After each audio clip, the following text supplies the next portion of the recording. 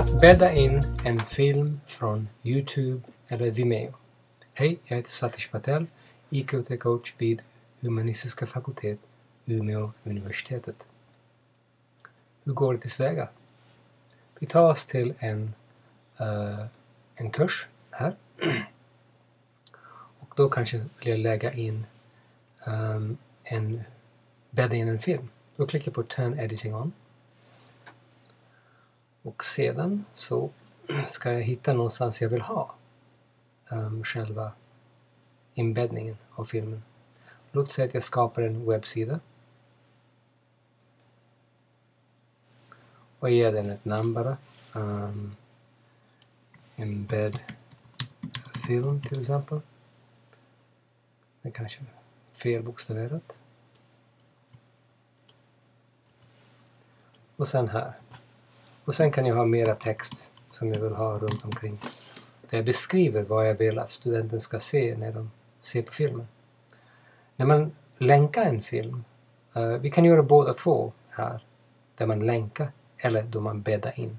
Fördelen med att bädda in är att du kan ha informationen närliggande till själva filmen. Okej, okay, nu ska vi då öppna en uh, Youtube. Vi kan ta What's the most dangerous place on earth. Då klickar man på Hej Visas, Michael here. Share. Och här finns det då en länk. Vi kan kopiera den här länken.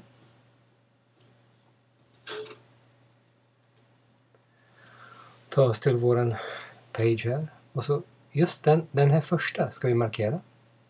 Klick på Insert Edit Länk och en URL-adress och ha den öppnande i ett nytt fönster. Och så insert. Så nu är den en länk. Fast här, just här under ska vi bädda in filmen. Tillbaka till Youtube.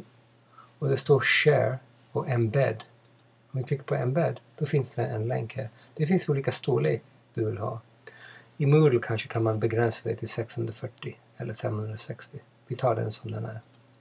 Och då kan man även ha andra saker här om man vill ha. Och då kopierar jag den. Och jag tar mig till hit igen. Fast den här gången, istället för att det blir den här länken, vi ska dit här där det står HTML. Om jag klickar på den, då kommer det upp en massa HTML-språk. Och då ska jag hitta var jag vill ha den. Jag vill ha den längst bak här. Då ska jag klistra in den där embed-koden och klicka på Update. Och spara Save and Display. Och med Safari måste jag uppdatera fönstret en gång till bara. Och då ser du att den är bäddad in. Då kan man se filmen här. Hej, visa! Men om du klickar på den, vad händer är att den öppnas i ett nytt fönster. Men då har inte du kringliggande text, text i närheten. Fördelen på att ha den bäddat in är att du kan beskriva här till studenten medan du ser på den här filmen, tänk på följande frågor och så vidare. Sen ser det ganska snyggt ut också.